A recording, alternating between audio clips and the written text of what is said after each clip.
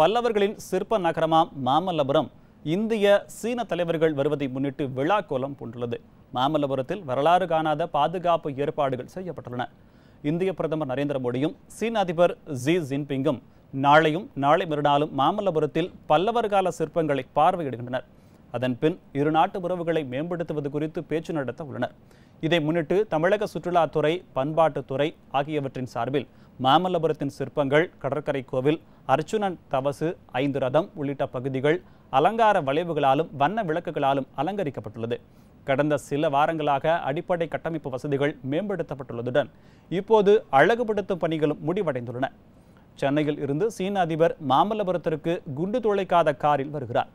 அவர் வரும் வழியில் அவரை வரவேற்கும் வகையில் ஆறாயிரத்து எண்ணூறு மாணவ மாணவியர் கலை நிகழ்ச்சிகளை நடத்துகின்றனர். இரு நாட்டு தலைவர்களும் பேச்சு நடத்துவதற்காக குண்டு துளைக்காத கண்ணாடி அறை அமைக்கப்பட்டுள்ளது. இந்திய ஆட்சிப்பணி அதிகாரிகள் பத்து பேர் தனி அதிகாரிகள் முப்பத்தி இரண்டு பேர் ஆகியோரை கொண்டு மாமல்லபுரத்தில் ஆறடுக்கு பாதுகாப்பு வளையம் அமைக்கப்பட்டுள்ளது.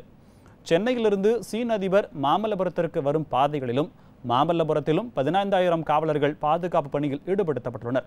அது மட்டுமல்லாமல் சாலை ஓரங்களிலும் மாமல்லபுரத்தின் முக்கிய பகுதிகளிலும் கண்காணிப்பு கோபுரங்கள் பொருத்தப்பட்டு கட்டுப்பாட்டு அறையிலிருந்து கண்காணிக்கப்பட்டு வருகிறது.